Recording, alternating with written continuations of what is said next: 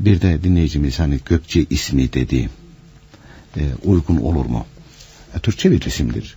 Yani isim olarak konur manası çünkü şey değil. E, kötü değil. Kötü değil.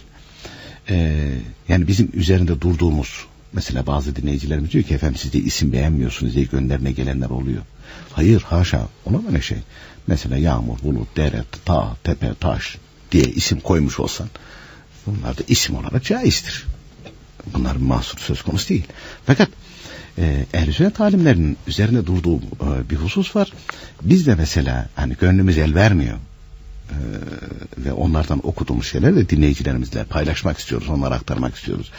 E, çünkü mahşer günü e, mahşer günü isimden dolayı da şefaata kavuşma durumu söz konusu. Niye mahrum ediyorsun çocuğunu?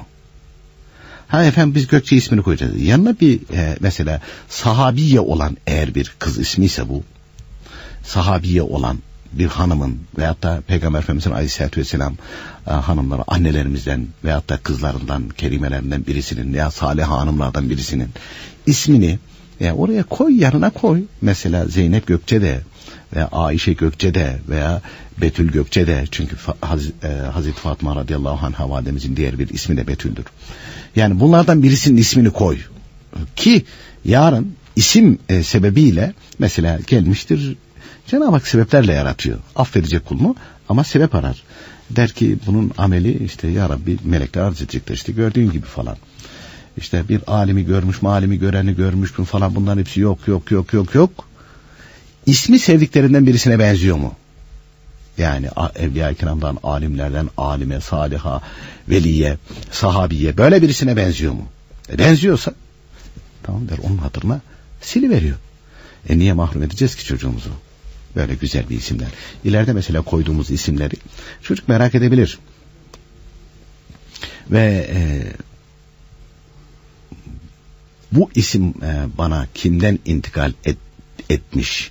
Annem babam kimi düşünerek koymuş? Tabi soracak onu belli bir yaşa gelince. Onlar da söylediği zaman merak eder. Ee, nasıl bir hanımmış, nasıl bir aynı şekilde kimseymiş. Onu merak eder, hayatını okur, etkilenir. Ona bir rota çizer. Hidayetine vesile olur. Kurtuluşuna vesile olur. Bunun için isim önemli. Kendi kafamıza göre değil. Efendim ben biliyorum. Açarım Kur'an-ı Kerim'i korum. Açar. Kur'an-ı Kerim e, isim ansiklopedisi değil ki. Oradan isim konmaz ki. Onu bilen konur. Bilen koyabilir. Ee, herkes kendi kafasına göre olmaz. Kur'an-ı Kerim'de birçok bir şeyler geçer. Mesela koydular. Ee, mesela Aleyna ismi, Minel ismi. Ee, ikisi de böyle zamirlerin birleşmesine meydana gelen bir şey. Yani hiç anlam anlam falan olmuyor. E, dolayısıyla uygun değil.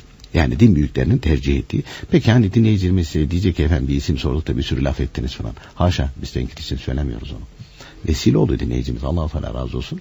Hani bu konuda Türkiye takvimi var.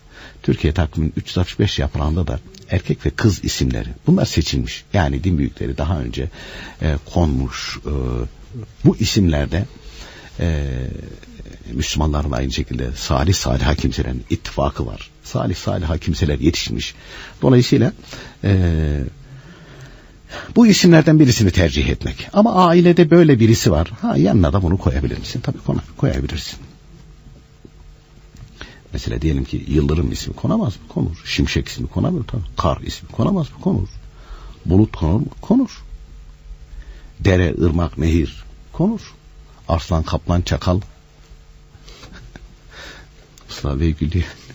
Arslanı koyuyorlar da çakalı koymuyorlar. Lakap olarak kullanıyor. Çakalı. Tilki. Tilki.